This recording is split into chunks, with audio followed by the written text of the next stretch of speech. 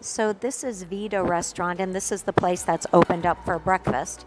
Um, but at night, then it also turns into Blade, which is the sushi place. So um, Vida during the day for breakfast uh, and lunch, and then at night, um, Blade open for amazing sushi.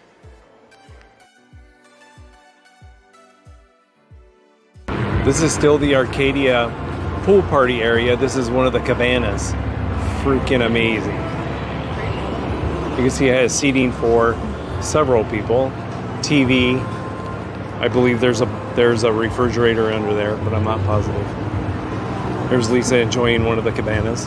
And this one's done a little bit differently, but they all have refrigerators and fridges and stuff. So cool. Right, these are amazing.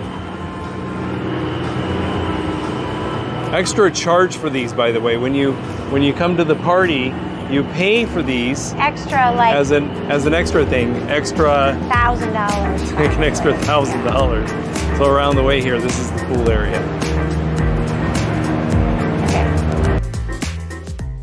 And this is the pipa duck, which I think is crispy duck. So this is the crispy duck. So this is the the Chilean sea bass with with some fried rice. Yeah. And we're at where are we? They're very loud people.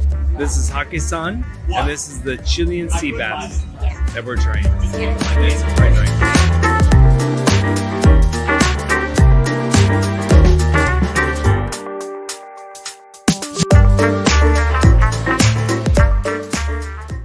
Place we stayed in. Oh right.